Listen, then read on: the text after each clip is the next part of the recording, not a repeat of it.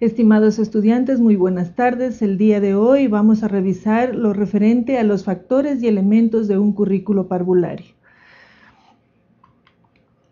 Dentro de lo que comprende los factores y elementos de un currículo parvulario tenemos los factores humano, que consideramos los niños y adultos, los factores ambientales, como es el espacio físico y los recursos materiales, los factores temporales, que son los tiempos mínimos y los tiempos máximos. Los elementos técnicos, dentro de ellos considerados la planificación y evaluación. Dentro de lo que consideramos el factor humano tenemos dos grupos. El primero, que es el conjunto de personas que constituyen la comunidad que por su desarrollo, rol social o responsabilidad tienen un lugar más destacado dentro del jardín infantil. El segundo grupo de personas lo integran aquellas que con un grado menor de participación, sin embargo, también son fundamentales en el desarrollo curricular. Dentro del primer grupo tenemos al niño, obviamente, que es el centro de nuestro quehacer, los educadores y la familia. Y dentro del segundo grupo están el personal del jardín, puede ser el personal de administrativo, de aseo, otros profesionales que se circunscriben a la comunidad circundante, es decir, todo tipo de profesionales que coadyuvan a la labor en el jardín infantil. En lo que tiene que ver a los factores ambientales tenemos aspectos generales de ubicación y construcción del jardín infantil, las características y ambientación de las dependencias del jardín. Las dependencias de los niños, llámense estas salas de actividades, salas de dormitorios, salas de muda o baño y además el espacio exterior. ¿Por qué hacemos eco en los factores ambientales? Porque son importantísimos para que el educando, el párvulo, se desarrolle en una forma armónica sin ninguna dificultad dentro del jardín infantil. En lo que tiene que ver a los factores temporales, está la organización del trabajo anual.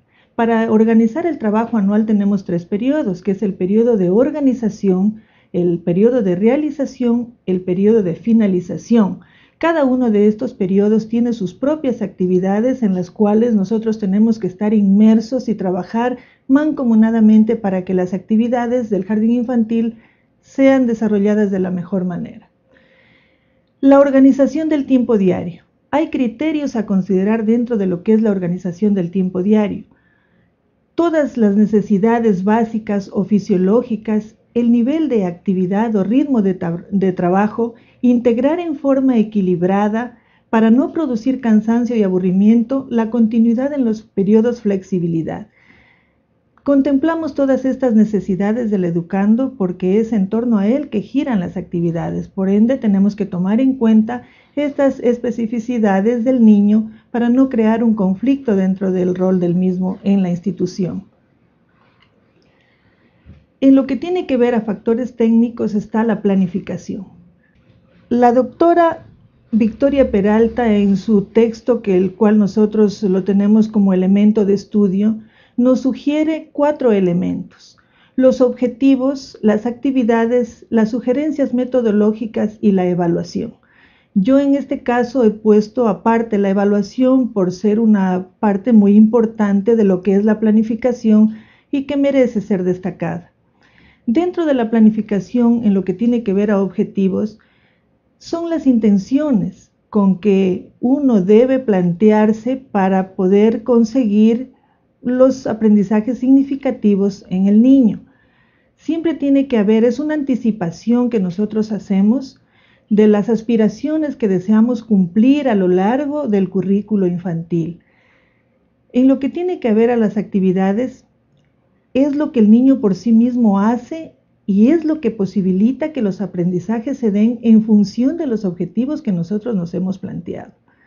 Las sugerencias metodológicas me permitiré en este caso decir que aparte de un conjunto de acciones del educador, yo sí destaco que es ya la forma personal como que como cada educador enfrenta la situación educativa. Por ello es necesario que realice ciertas actividades tomando en cuenta estas especificaciones que los niños traen consigo para el logro de los objetivos. Dentro de lo que es la evaluación, se evalúa todo en el currículo infantil. En primer lugar, los aprendizajes, que son los procedimientos, qué instrumentos hemos utilizado, los otros elementos del currículo, como son los rincones, los materiales, inclusive el rol de los adultos dentro del jardín infantil, el educador, ¿cómo es el educador? ¿Es impositivo? ¿Es facilitador? Es decir, tenemos que evaluar todo el proceso. ¿Para qué? Con la única finalidad de conseguir un plan de mejoras. Es todo en cuanto se refiere a factores y elementos del currículo. Muchas gracias.